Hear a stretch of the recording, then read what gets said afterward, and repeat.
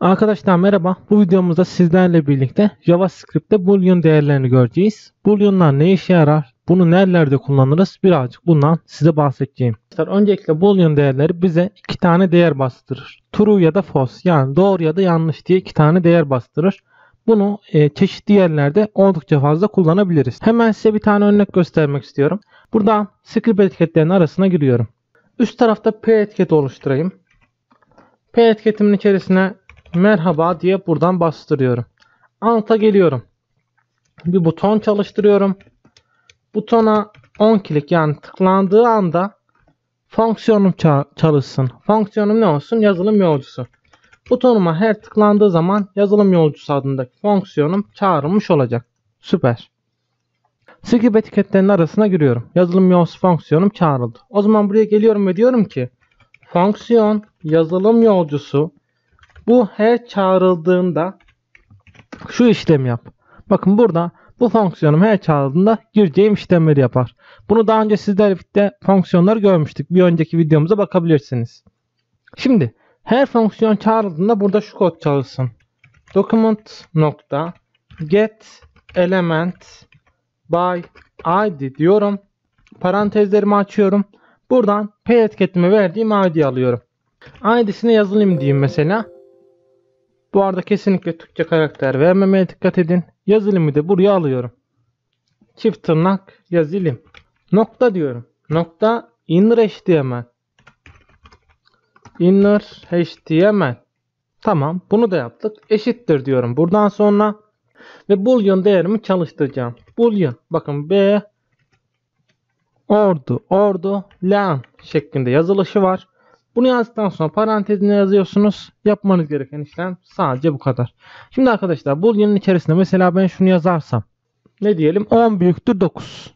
Bu ne olur? Doğru. O yüzden bize evet diye bastıracak. Desem ki x büyüktür y. x 5 olsa y 7 olsa bu ne olur? Yanlış olur.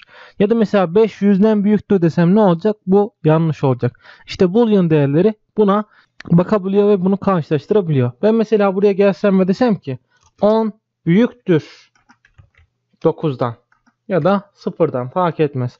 Bu değeri yazıyorum. Şu an gelip tarayıcıma sayfamı yenilersem bakın bu arada butonumun ismini değiştireyim. Şuraya gelip tıkla diyelim butonumuzun ismine. Kaydettim. Şimdi gelip yeniliyorum. Tıkla butonuna bastım ve true diye bastırdı. Yani benim bu yazmış olduğum değer doğru. Ama ben peki deseydim 10 büyüktür 90'dan. Şimdi kaydettim. Gelip yenilediğim zaman bakın tıkla diyorum. Bu sefer de false diyor. Yani yanlış. Anladınız mı? Boolean değerler bize bunu sağlar. Bunu birçok yerde kullanabilirsiniz. Mesela bir sorgu yaparsınız. Sorguda sıkıntı olursa hemen burada bu şekilde bastırabilirsiniz. Bunu kullanacağınız yerler size kalmış. Bir örnek daha göstereceğim. Ondan sonra bu videoyu tamamlayacağım. Burada yukarıda 3 tane değişken oluşturacağım. Birinci değişkenime dolar abc diyorum ve eşittir 10 diyelim. Noktalı virgül. İkinci değişkenim dolar sd eşittir 15. İki tane değişkenimi oluşturdum. Ben buradan desem ki bakın şurayı şöyle siliyorum. Dolar sd büyüktür dolar abc'den. Şimdi bu durumda ne bastırılacak bana hemen görelim. Gelip yeniliyorum. Tıklıyorum. True diyor. Niçin? Çünkü değerim doğru. Ama bunu küçük lira çevirsem bakın küçük lira işareti de şudur.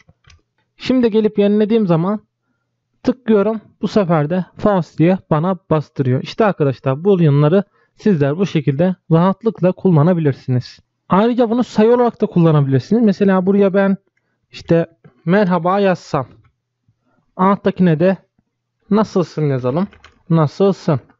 Buraya gelip ve desem ki SD ile ABC birbirine eşittir. Eşittir demek için iki tane eşit işaretini atmam gerekiyor. Şimdi gelip yenilersem bakın bana false diye bastıracak. Niçin? Çünkü iki değer birbirine eşit değil. Ayrıca şunu da yapabiliyor. Ben mesela buraya gelip desem ki 5 bölü çift tırnağın içerisinde A harfi. Şu an bu yanlış olacak değil mi? 5'i bölüyoruz ama A ne? Neye bölecek bu? Bu yanlış bir sorgu. Matematikte bunu çalıştırırsanız yanlış olacaktır. Ve daha sonra buraya gelip sadece dolar ABC'yi bastırırsanız iptal diyorum. Buradan gelip yenilediğim zaman Tıklıyorum false diyor. Gördünüz mü?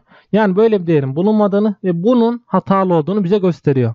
Yine işte de- değişik işlemleri daha yapabilirsiniz. Bu size kalmış. Atıyorum 5 bölü ne diyelim? 2 diyelim. Çift tırnak kala bir de bu şekilde deneyelim. Şimdi gelip yenlersem şimdi true diye bastırdı. Gördünüz mü?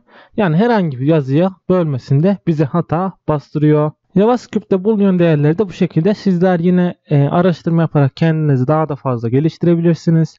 Ben bu videomu bu kadar tutuyorum. Bir sonraki videomuzda görüşmek üzere.